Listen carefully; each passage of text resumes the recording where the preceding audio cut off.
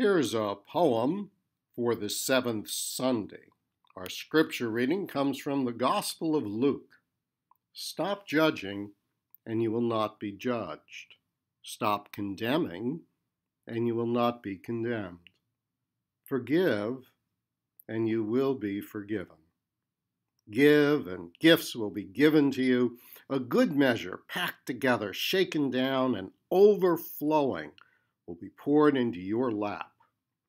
For the measure with which you measure will in return be measured out to you. Everything becomes a gun. Everything becomes a gun for little boys. Every stick, screwdriver, and flashlight. Choo-choo, choo-choo, choo-choo. Gotcha. You're dead. Wildebeest or lion, meat or enemy, we are all prey for their hunter warrior play.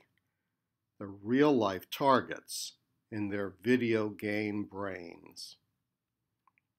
The line between baby and enemy spoiling for war is the first time they say, no, mine. The best way to win is not to play.